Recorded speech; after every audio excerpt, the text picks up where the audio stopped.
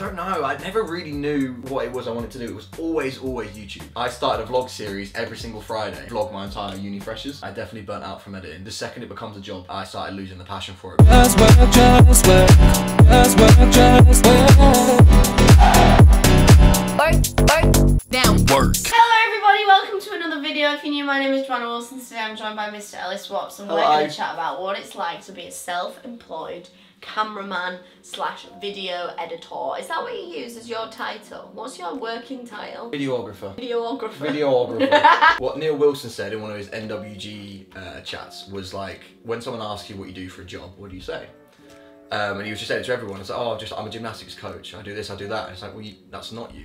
As a gymnastics coach, your answer should be, oh, I, I take kids and I teach them um, incredible skills that they take on in future life, like body awareness and stuff. And it's like, oh, okay. Yeah, so the deadness is I give people incredible smiles. That's it. Yeah, exactly. So I thought of mine, and it was like I take people's lives and turn them into incredible show reels, lives into movies or into stories. Love it! Yeah. Yeah! So that's that's my answer for that So one. my name is Ellis Watts and I turn people's lives into movies. There you go. I guess well, if we take it right back to the start, Mhm. when did you first have an interest in video creating and editing and all that jazz? So um, there are videos that were on internet that will no longer grace the internet, um, but I must have been eight or ten years old, and my friend Owen, yeah, Eight. eight or ten. It's somewhere around there. I can't remember exactly. I'll be able to find it. I was I was making videos before YouTube was a thing, in the sense of not editing them, but like on my phone recording. There was like a little pause button you could do, so that was my editing. It was pause, play, pause, play, and I used to do stop motion with that. So like my little Lego characters, you'd move it, pause, play, pause, play, pause, play like that. So it looked like they were walking around. Loved it. But my friend Owen came to me and was like, "Do you watch Makes me want to cry. Uh, you can never see those videos, by the way. They are so cringe. My friend Owen um, just told me about YouTube, and I was like, look, there's this YouTube thing going on. And he showed me some guy called, oh no, I can't remember his name. He made Nerf videos, right? But they were really well put together, like really well cinematography, the editing and stuff. So I was like, I want to do that. Like, that's so fun, let's do it. So we made some Nerf videos, some Nerf zombie attack videos. Um, and it's funny because for Owen's 18th birthday, I put all that, we did four parts. I put all four parts onto a DVD, made a trailer for it, and then made a menu. So he could go part one, part two, part three, part four, and that was his birthday present, which was really cool. Started making short films, like that. When I say short films, like use that term loosely, very, very loosely. But I was, I was just interested, and then I got into editing. Throughout all of school, I got bullied for it. Like it was just, it's not normal, is it, to post videos? I mean, I look back and probably deserve getting bullied for those videos. Oh, I'd, I'd, I'd have bullied myself. Yeah, but look honest. at where you're at now. Exactly. Gaming videos, vlogs, anything under the sun that taught me how to edit. You were all self-taught. all self-taught. Yeah. Everything. I just went onto YouTube. It was, it was like I see something in a, in a YouTube video. How do I make myself do this? On mastering that one bit and making it look good. And I'd show mum and dad and be like, look what I did. Like, look at that. And they're like, whoa, how have you done that? And then I got onto more serious like um, software. And I started asking for a laptop for Christmas. I remember I got my first camera when I was 12. Uh, it was a little Hitachi video camera. I mean, fast forward all those years, I did drama at school Uh, because I, oh, I really wanted to act as well, but that also helped with my on-camera presence. Yeah. In sixth form, I wanted to do something more in the editing thing, so I took media, Yeah. but our media projects at home were still running Windows XP, Right. like really old, and it was just, it was really bad.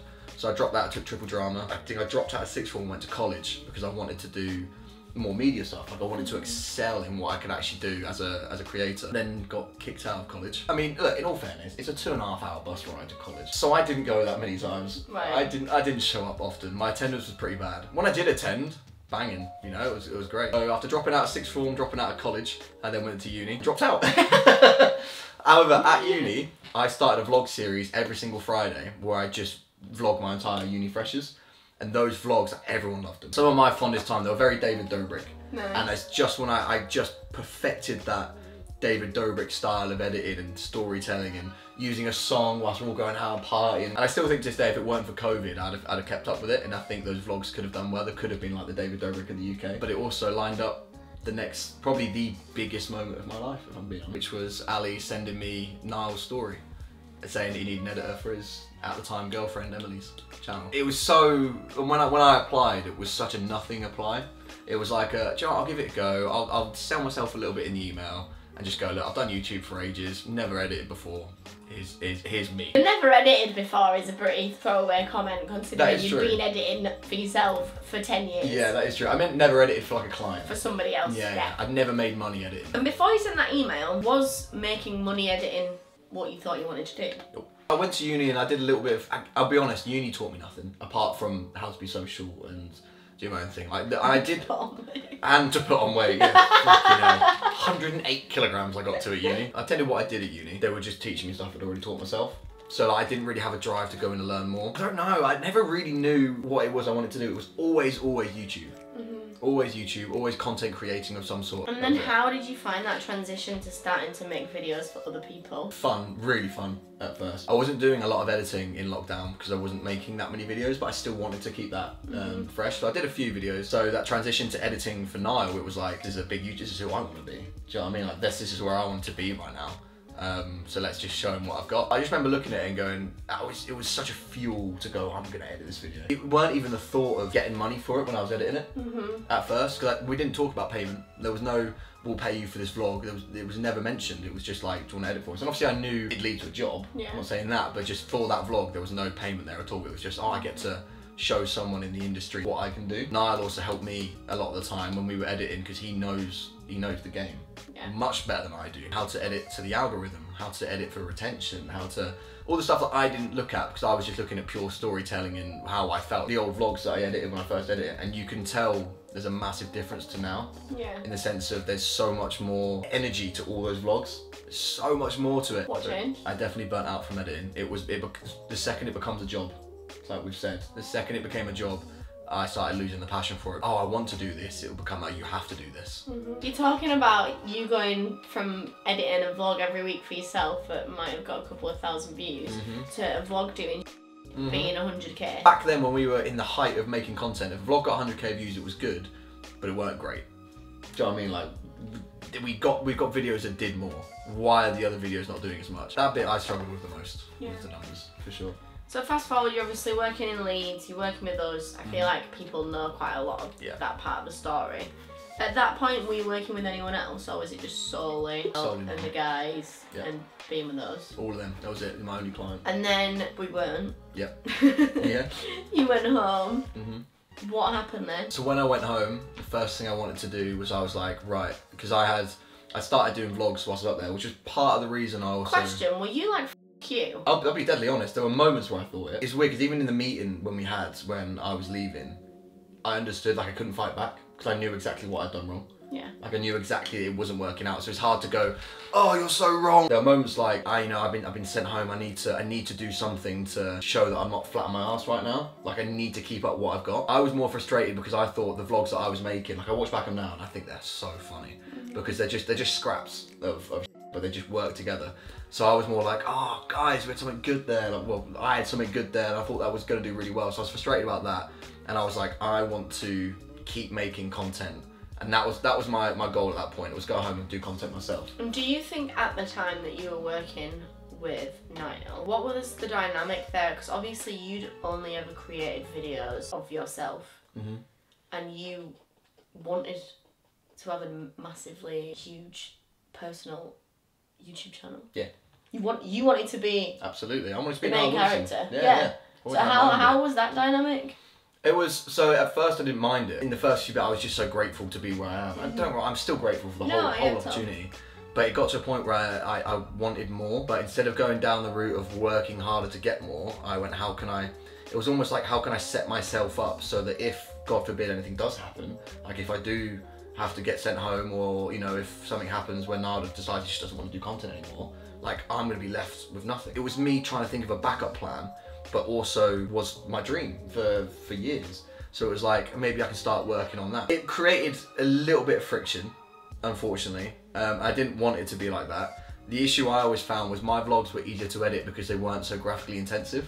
So I remember Nile saw me editing one of my vlogs whilst we were doing it on, on a trip, right? So we were literally on a laptop editing my vlog whilst we were going to film. And he brought up a comment to me and he said, mate, I, you know, I've never seen you work that hard on one of my vlogs. Like, why, why is it it's just your ones? And that struck a chord with me a little bit because I thought, I have worked hard on your vlogs. And also, my laptop, not that it couldn't, but I'd rather be sat at home at my station when I'm editing, your yours is more his is more of like a almost like a program. Do you know what I mean? Like his was the main event. His his video had to be perfect. It couldn't just be me on a laptop, kind of not quite perfect, just throwing together clips. But I can never really get that across to him uh, in in the right way. Because also, again, it comes from friendship. So he didn't like that, and then he also kept saying, "Oh, why don't you just upload the vlogs that you're making on my second channel?" And I remember being like, why have they got to be on your second channel? Why can't I have this just little? It's just it's just this little bit here. And again, it was only to to set myself up in case anything happened. So yeah, it started with a little bit of friction, but it never made me not want to not want Nara to succeed. It was never like didn't want to succeed. It was I've got an idea of how we could all succeed and have this like But like, I don't Cinematic think universe. nobody was ready to have that conversation. Nobody, that com- that was not a conversation that ever happened. no, it weren't. So you went back, you continued making your own content. Was the Yeah. idea to just try and live off the earnings of making your own content, or did you Yeah, quickly realise that you wanted and needed to get other clients? both. The answer to both is yes. It was strange. I had the motivation to do it, but I didn't have the like. I was too nervous to try. Okay. in a sense. Do you know what I mean? I was too nervous to try. Like I'm living at home, I've got to pay rent, to pay for, and you know I'm 20. I think I was 23 when I moved back. 22, 23. Like I can't be sat here with no job. Uh, I went to work part time with my sister at her bar because she managed the bar there. It was zero hour contract, so it was still flexible for me to try and do content and do what I wanted. And I also met my current missus there as well. So. You know, I can't be can't be too sad about that. So I did work with you guys every now and then. So they'd like message and be like, look, do you want to come do some cam work? Which I was always so grateful for. And I'll be honest, the first few times I felt awkward because it's, obviously it's like a yeah, you've been sacked, and it, it weren't like a again, it weren't like a you guys don't want to be there with you. It was more of a how do you guys feel about me still? Hmm. Like, have you invited me up out of pity? Have you invited me up because you want to see me? Like, what's what what's the dynamic here? And it's just yeah, their own heads goes a million miles an hour. So I had a client that was paying me, that sorted, and that all went downhill eventually. Then obviously because I did work with you and Sarah, Lauren Yeah. Jumps reached out to me. And she was like, listen, I've seen your work with Sarah. I want to get into making long form content on YouTube. I've always done shorts. I've seen your work. Like, can we work together? It all just comes about. It's, it's not like I'm searching for it. They just kind of, and this has all come from from you guys, and I'll always forever be grateful because there's no way I would have had people approach me if it weren't for you guys giving the opportunity. So where are you at now then? What does your work life look like now? So now I have four constant clients. Um, Lauren Jumps. I then have another client called Alex Hefner. He's uh, he reacts to films and movies and stuff. And then I've also got two other clients, which is Luke Sutton, doing his um, uh, Understanding Men podcast, which is phenomenal by the way. person does the audio, Lucy, then messaged me and said, "Listen, I've got another podcast from uh, Dr. Frankie. Like she's um, started up a new podcast, and I've told her about your video editing skills. Do you want to do some editing there?"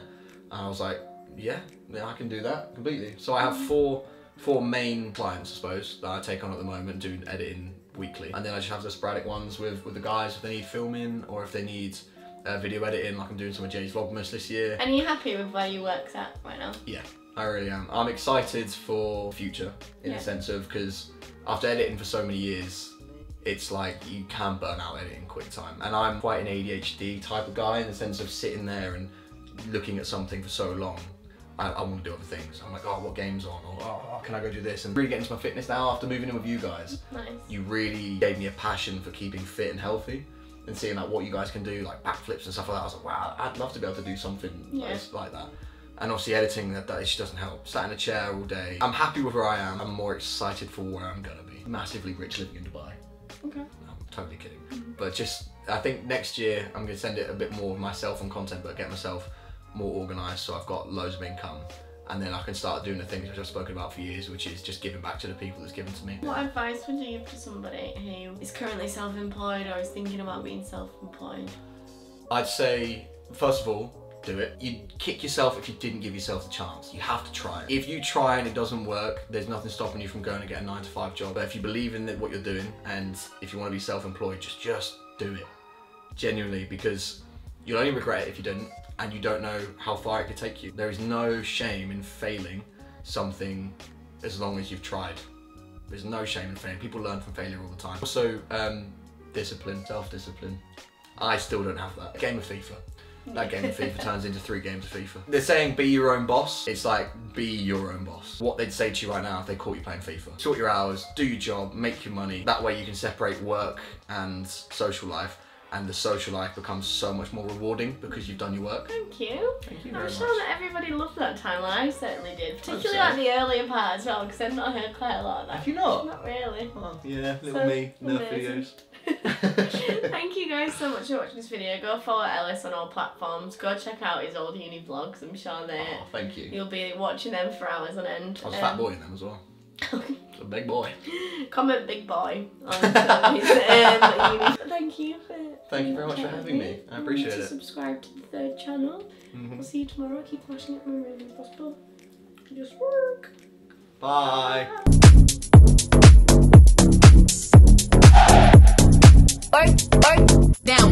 In one of his NW.